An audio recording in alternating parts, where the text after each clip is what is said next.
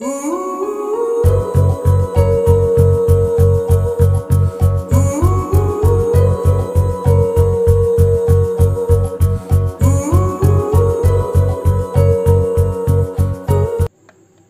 everyone, uh, my name is Rajesh Sah and I am a CA aspirant waiting for my results having appeared in 2021 June CAP 2 examinations.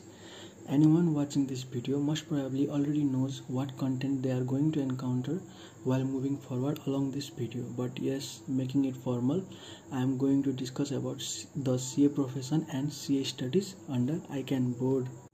यो चाहिँ एउटा vast topic I have thought of presenting this topic in a question and answer manner, which I generally find more engaging for the audience. So let's begin. First question goes like this: uh, What exactly is CA? So, यसको full form चाहिँ uh, Chartered Accountant, and it is one of the most most and challenging career field. it is basically one of the options available for higher studies in countries like India and Nepal, uh, basically chosen by very few people in comparison to other popular courses and going through a literal definition. CA is more importantly a designation provided to the accounting professionals who meet the requirements provided by ICAN. Institute of Chartered Accountancy of Nepal, board in case of Nepal. Uh, and uh, likewise ICAI in case of India and this varies as per the nation. So here we have another keyword that is ICAN. Uh, so likewise our next question is what type of board is ICAN? ICAN Institute of Chartered Accountancy of Nepal is an autonomous body established under the Nepal Chartered Accountancy Act 1997 for regulating the accounting profession in the country. Maybe it is an autonomous body, but we know right no one is above the law, so I hope that explains a lot. Uh, in Nepal, uh, ICAN is the board for CA studies and CA profession. That is, it looks after the course plan, examinations, requirements, qualification criteria of CA, and summing it up, overall production of a specialized accounting professionals designated as CA.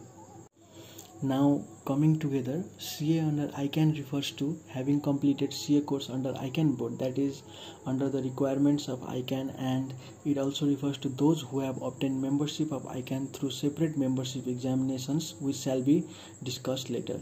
Anyone who completes CA course under ICAN board automatically becomes the member of ICAN having required to pay membership fees at certain regular time intervals. Now our third question goes like this uh, what are the eligibility criteria for studying CA course and what syllabus shall we go through. CA course is divided into three phases in Nepal. Uh, it is generally termed as CAP 1, CAP 2 and CAP 3. So let's uh, begin with CAP 1. CAP 1 is the first and basic level of chartered accountancy course. There is no entrance examinations for entry but a student must have got at least 2.4 GPA in aggregate of class 11 and 12 and admissions are available before class 12 results and shall be allowed to give exams if the student meets the aggregate GPA requirement after their respective uh, 12 results. CAP 2. CAP 2 is also called intermediate uh, level and one can study it after passing CAP 1 or having 50% in economics or business administration or management faculty with major subjects being accounts or audit or taxation or minimum 55% in economics or business administration or management faculty with major subjects other than accounts or audit or taxation. And uh, at last minimum 60% in other faculties. And here it goes cap 3 cap 3 uh, it has only one uh, requirement. One must be cap 2 passed. Duration to complete cap 1 cap 2 and cap 3 are 3 years uh, 5 years and unlimited time periods respectively that is if you do not pass uh, the respective caps within the given time interval you will have to apply for readmission and repay the admission amount. Here uh, cap 1 includes following subjects fundamentals of accounting mercantile law and fundamental of economics fundamentals of management and commercial mathematics and statistics. Cap 2 includes following subjects group 1 has uh, three papers advanced accounting audit and assurance corporate and other laws where, whereas group 2 has uh, four papers financial management cost and management accounting business communication and marketing income tax and vat uh, and cap 3 includes following subjects cap 3 also has two groups. Group 1 includes four papers advanced financial reporting advanced financial management advanced auditing corporate laws. And group 2 includes four papers respectively. Uh, that is management information and control system advanced taxation advanced cost and management accounting strategic management and decision making analysis.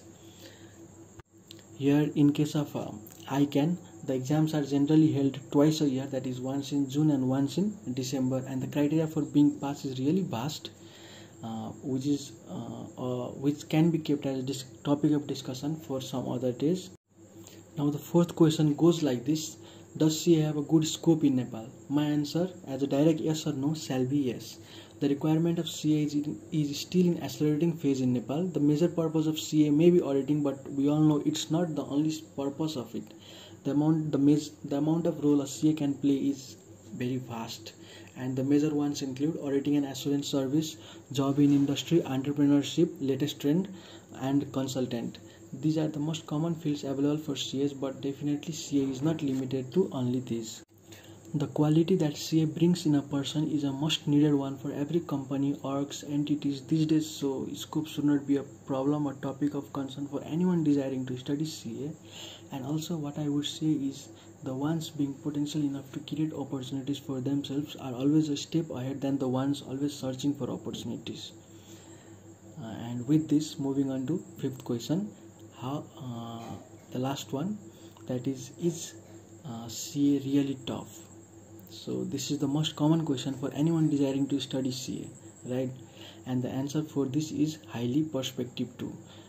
Um, the answer may differ as per the person. When you talk about my opinion my perception my frame of reference it shall be it's not the content that is tough. Nothing shall be there in the content which if you don't study with dedication shall not be understood by you but the thing what makes it tough is the variety and quantity of contents and the interrelations between them. One must understand every topic well and be able to have them in mind to present in exams. So what matters the most is consistent study. That is, one must one must dedicate himself or herself completely for CA. Uh, until one earns the designation. So in short, what matters the most is how much time you can give to to this course. Overall, CA in Nepal has a broad scope and is still in accelerating phase. The international scopes are also developing slowly and steadily and currently include the current countries like Australia, Canada and Germany etc.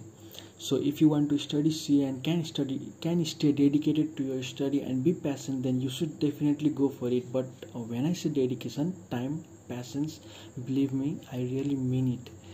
So hey we are finally at the end. Uh, thank you CA aspirant page for bringing this sort of program. And thank you all of you for hearing me out. The like comment and share of this video shall be of great help to me. And do subscribe the channel. Thank you